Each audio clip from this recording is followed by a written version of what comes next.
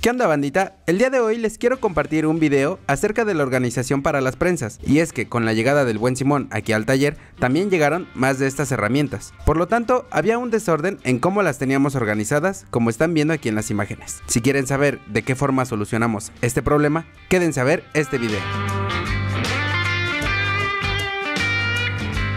Antes que nada, los quiero invitar a utilizar los materiales sobrantes que luego nos están estorbando en el taller, esos que decimos para algo me han de servir. Lo primero que hago es establecer el tamaño de la base que voy a utilizar. Esto claramente va a depender del tamaño de sus prensas, pero de cualquier forma les paso el tamaño por si es que les funciona. Voy a fabricar rectángulos con una medida de 11 centímetros de ancho por 15 centímetros de largo y para cada base necesitaré dos de estas piezas.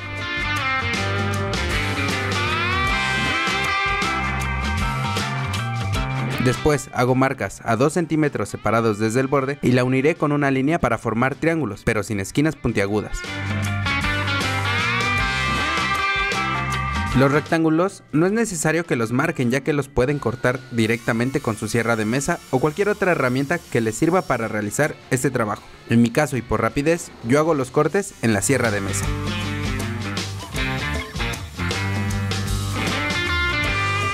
También necesitaremos un rectángulo de 6 centímetros de ancho por 15 centímetros de largo, ya que con esta pieza uniremos nuestros triángulos.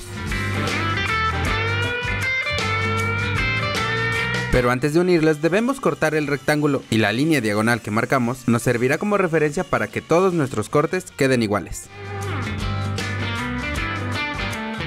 Una vez cortadas nuestras piezas, ahora sí podemos colocar pegamento o cola para carpintero, aunque eso suena extraño aquí en México. Dejémoslo en que fijamos nuestras piezas con un pegamento para madera. Si se han dado cuenta, esta clavadora es una de mis herramientas favoritas, ya que siempre que puedo la utilizo. En esta ocasión solo sujeto las piezas en su lugar y luego refuerzo la unión con tornillos Spax Universal de 4x40. Yo utilizo solo dos tornillos en estas bases ya que son pequeñas, pero en caso de que fabriquen más grandes, coloquen tornillos al menos a cada 15 centímetros separados entre sí. Y con esto ya están listas estas bases. También fabriqué unas más grandes, las cuales tienen una medida de 30 centímetros de ancho por 23 centímetros de alto y el corte en diagonal lo hice a 3.2 centímetros en la parte inferior y a 5 centímetros en la parte superior, solo que a la parte que unirá los triángulos tendrán dos medidas diferentes, para las bases de los sargentos serán de 13 centímetros de ancho y para las prensas de ajuste rápido seguirán midiendo 6 centímetros.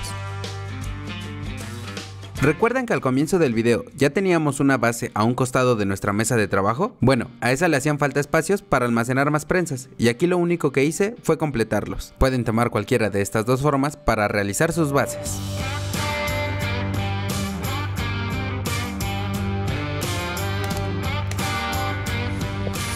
Amigos, pero antes de seguir con el video, ¿ya se suscribieron? Si no, aquí los espero. ¿Ya? Seguimos. Lo siguiente es presentar las prensas en donde las vamos a colocar y ver si nos queda cómoda la altura. Para fijar las bases, hago una perforación guía con una broca de 316 y luego inserto tornillos Spax RA de 60 milímetros.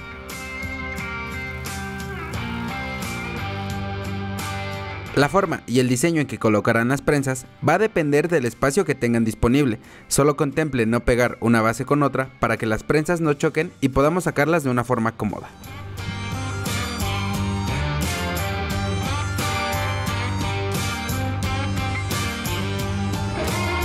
Aquí noté que hacer bases independientes, si bien nos ahorran material, es tedioso fijar una por una, además de que tuve que utilizar varias extensiones largas para poder fijarlas.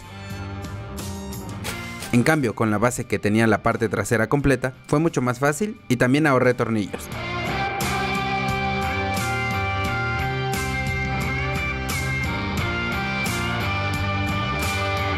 Para las prensas de resorte, tomé la medida basado en la cantidad de piezas que tenemos aquí en el taller y uní dos tablas de 15 centímetros de ancho por 70 centímetros de largo. Ya solo instalé esta escuadra y me aseguro que quede a nivel.